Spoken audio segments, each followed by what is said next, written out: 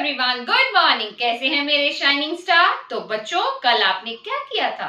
कल आपने my alphabet hunt book में page number thirty nine G alphabet complete किया था। आज हम करेंगे नोटबुक में work G for grapes G for girl G for gate G for Ganesha G for god G for gumboot G for gloves तो बच्चों, आज सबसे पहले मैं आपको बोर्ड पर जी अल्फ़ाबेट लिखना सिखाऊँगी, उसके बाद हम करेंगे नोटबुक में वर्क मैंने क्या बनाया है? जी फॉर गिटार है ना? ये इंस्ट्रूमेंट है, जो कि मेरे बच्चों का फेवरेट है. जी फॉर ग्लव्स तो बच्चों जी अल्फ़ाबेट हम कैसे लिखते हैं?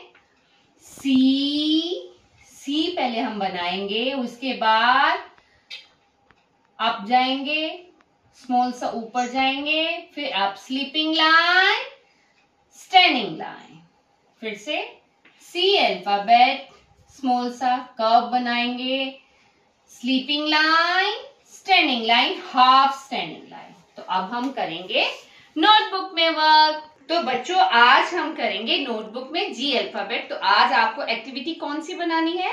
G for guitar and G for gloves क्योंकि इसकी जो गिटार की वायर होती है, वो शार्प होती है, जिससे हमारी फिंगर्स कट जाती हैं। तो हमें इसको ग्लव्स के साथ या इसके ऊपर एक वो स्पोर्ट के लिए होता है प्लास्टिक का, उसको पहन के ही हमें इसको बजाना चाहिए। तो मैंने इसको ग्लव्स के साथ बनाया है गिटार अब हम लिखेंगे जी अल्फ़ाबेट अब हम स्टार्ट करेंगे। इसको भी हमने नोटबुक में कैसे लिखना है? सी अल्फ़ाबेट सेकेंड लाइन पर फिर हम बनाएँगे स्लीपिंग लाइन स्टैंडिंग लाइन ये हम बनाएँगे थ्री लाइंस में। ऐसे ही आपको ये वर्क कंप्लीट करना है।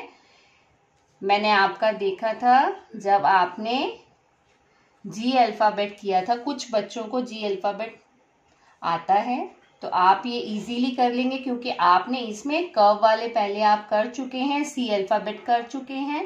तो बच्चों, ऐसे ही आपका ये वर्क कंप्लीट हो जाएगा। आप बच्चे एक्टिविटी ज़रूर रेडी करेंगे, क्योंकि इससे बच्चों को अच्छे से अल्फ़ाबेट जो है वो अच्छे से समझ में आ जाता है कि हमने जी अल्फ़ाबेट गिटार से बनाया था और ग्लव्स के साथ बनाया था। तो ओके बच्चों, अब हम करेंगे सेकंड वर्क